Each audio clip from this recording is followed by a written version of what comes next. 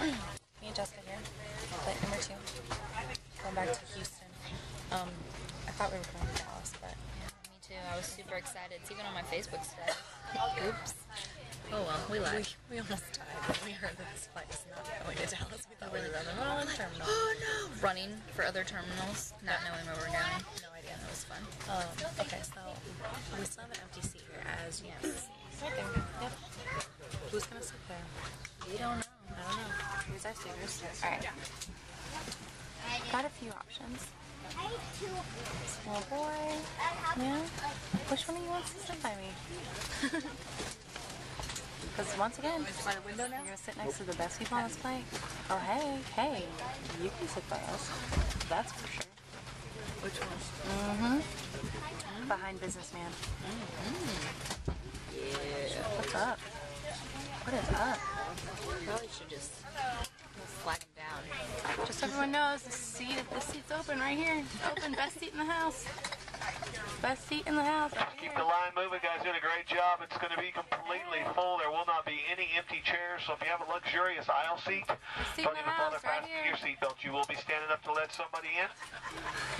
Didn't work. Don't be afraid to walk all the way back. Those seats in the back, they're going to land in Houston about the same time these do right up here. So walk on back, get comfortable. If you're in the front row, all your bags, all your purses, everything up top. If you're in the front row, all your bags, purses, everything up top.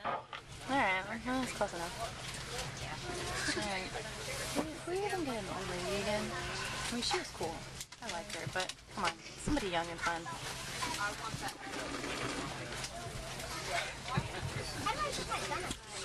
Those are our potential suitors.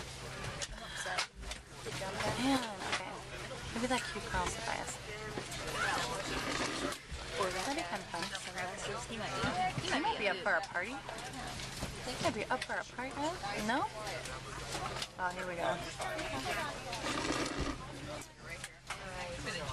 No? I think we should announce that this is the best seat in the house. They might, then they might run. You have to sit there. Be like, who are these people? Oh, yeah, we don't want to scare anybody. Come on, look at this seat. Look at this seat. I need one person. Anybody want to volunteer their seat This to go on a five o'clock non-stop flight? Anybody? Anybody? You can look at the sun a little bit longer. Five o'clock non-stop. We need one person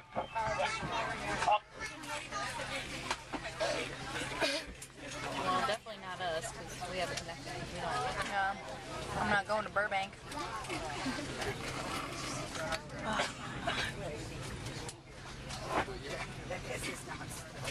Hi.